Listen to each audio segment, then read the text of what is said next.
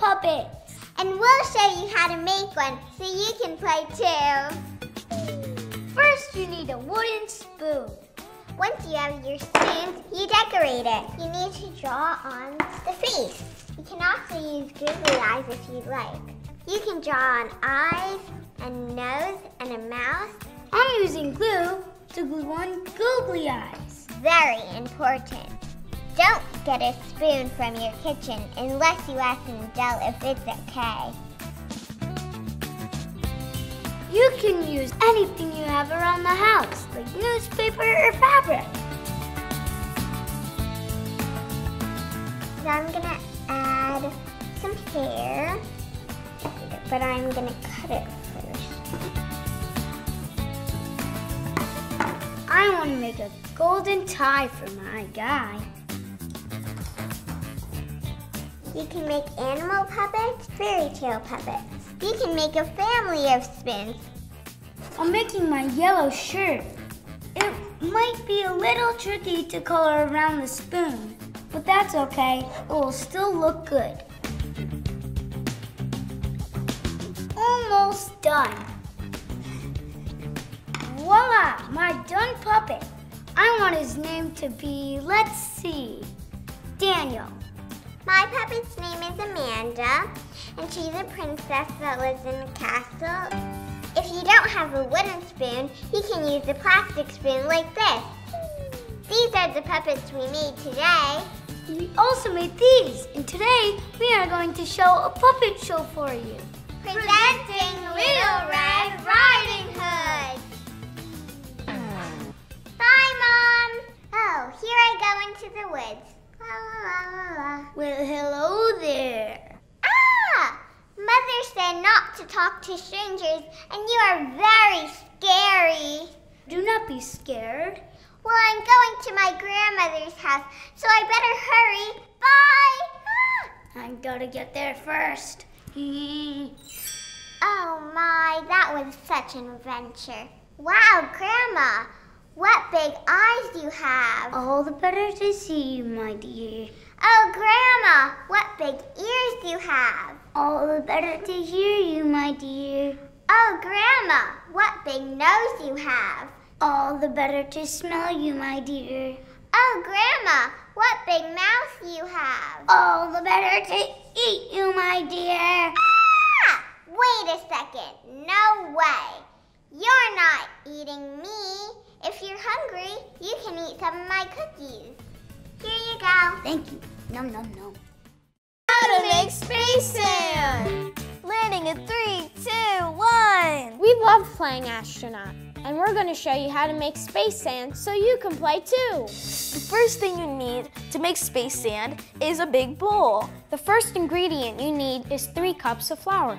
I'm going to dump the flour in the bowl. The next thing you need is gelatin, one cup of gelatin. I'm dumping the gelatin in. The gelatin color is red, and that will make your sand red too. And now we're gonna mix it together.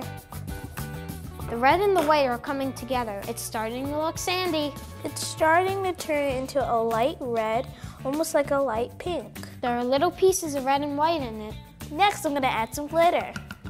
You can put as much glitter as you want. Now we're gonna make a hole in the middle to put baby oil in. it. Feels very soft. Now we're gonna add a half a cup of baby oil. This is just regular baby oil. Now I'm gonna put the baby oil into the hole.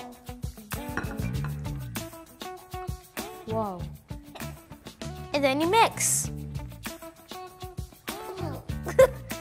it feels so mushy. It feels very hard, but it feels also a little bit wet. You could just squeeze it. You could squeeze it like actual sand. Just squeeze, squeeze, squeeze. It's really cool because you can mold it into any shape you want. Or just play with it. Rover coming through the red sand. Look, Astronaut One, I found a volcano. Astronaut 1, we have discovered red sand. Landing in three, two, one. And that's how you make space sand. How to make a fairy fruit wand. We made fairy fruit wands. I can grant you any wish you want. I wish I had fairy wings. Zing! Wow, I love my wings. Now I wish for a crown. Shoving!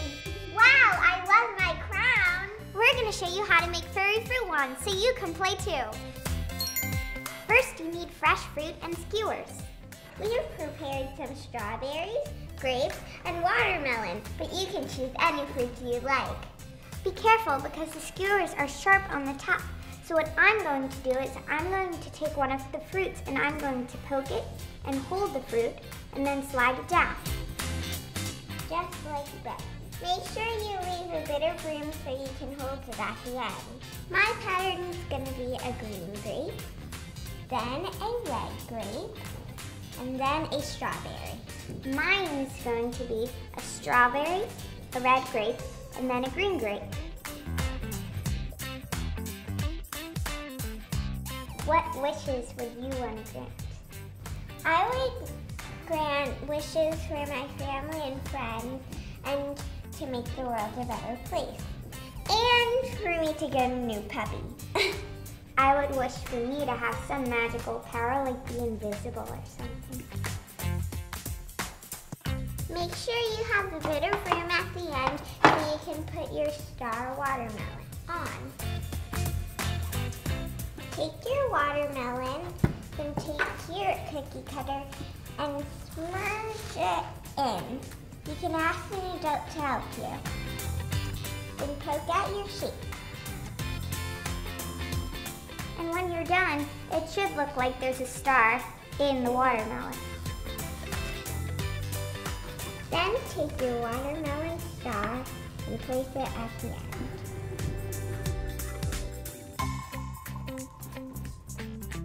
Add it on top. Now it's time for the ribbon.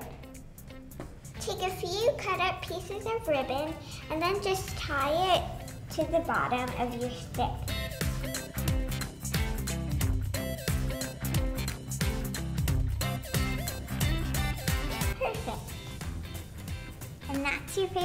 Fairy. I wish you had invisible powers. I wish you had laser eyes. I wish you could fly. I wish you could swim really fast. I wish you could make it summer when it's winter. I wish you had the power to change color. I wish you could make a fairy fruit wand. I wish you. Just sing. How to make puffy cloud paint. I love to paint. And today I'm going to show you how to make puffy cloud paint so you can play too. The first step into making puffy cloud paint is to get half a cup of flour and pour it into a bigger bowl. Then you should take half a cup of glue. Then you need four cups of shaving cream. There, that's about four cups. Then you mix all that together. Important tip, do not overmix. You want the shaving cream to stay light and fluffy, so don't mix super fast or super hard. Feels light and fluffy, just the right consistency. Feels kind of like a marshmallow. It feels like a cloud. If it's not fluffy enough, then you might want to add some more shaving cream. The best thing to do is add a little bit at a time. Once it's mixed, this is going to be your white paint. Put your white paint in each of the little bowls. These will be your different color paints. You mix the food coloring into your white cloud to make it a color. Add more drops to make it darker and less drops to make it lighter. Really stir it good so all of the darker color gets mixed in. But don't mix it too much so it gets not puffy anymore. I think that's about good. Want it to get about this color. And once you make all your colors, you paint. Once you're ready to paint, you want a piece of poster board or cardboard. Because since cloud paint is really wet, regular paper will just soak it up and will rip. So you want a thicker piece of material. You can use sponges, brushes, or even spoons. I'm gonna use some white first to make the little clouds at the side of my rainbow. Cloud paint is kind of hard to work with, so you might want to dab it instead of instead of brushing it like you would with regular paint. You want it to be as puffy as possible. You should try to layer over layer so it gets more of that little puffy, cloudy texture. I guess cloud paint, when it dries, it feels like you could, your hands could be walking on a cloud because it feels so good. It feels fluffy and so squishy. Make sure it's puffy so it looks like a puffy rainbow, not just the puffy clouds. I'm using a spoon now because using a spoon, you can drag it out more. You can always spread it a little bit. It's really great to use your fingers because it's okay to get messy using cloud paint. That's half the fun of it. How to make a water xylophone.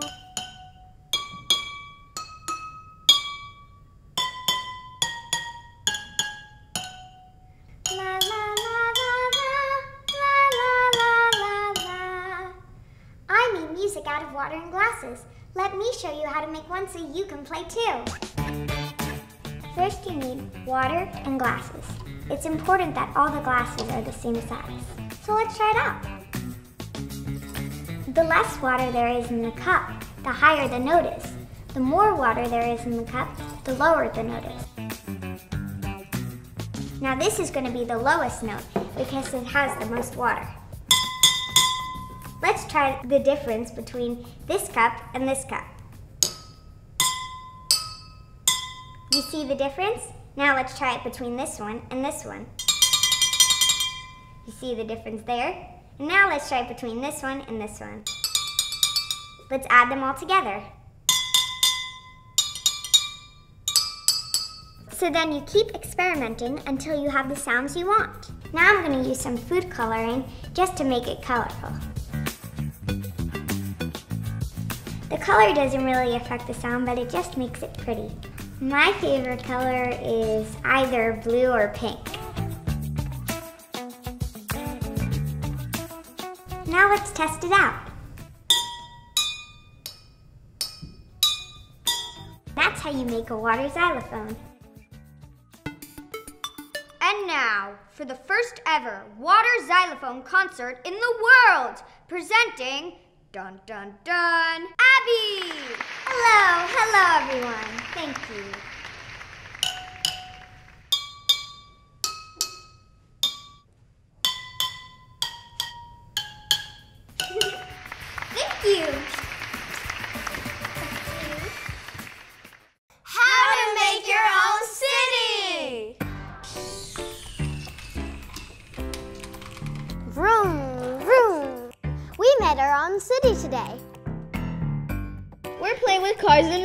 And.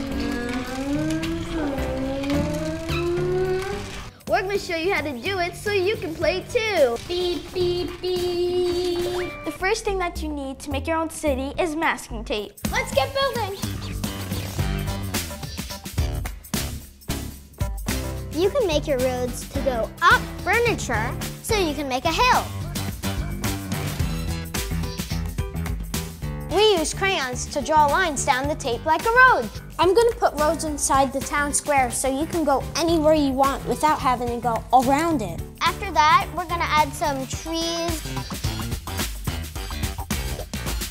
We made the trunk with paper towel roll and we made the leaves with tissue paper. And then we added some buildings. We drew the buildings on some construction paper. I'm gonna put the post office right over where the school is. You can use blue construction paper to make a lake. I added the school because I thought it would be really cool to drive a school bus.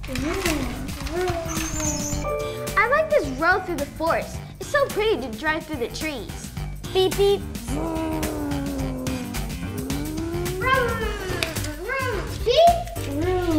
Uh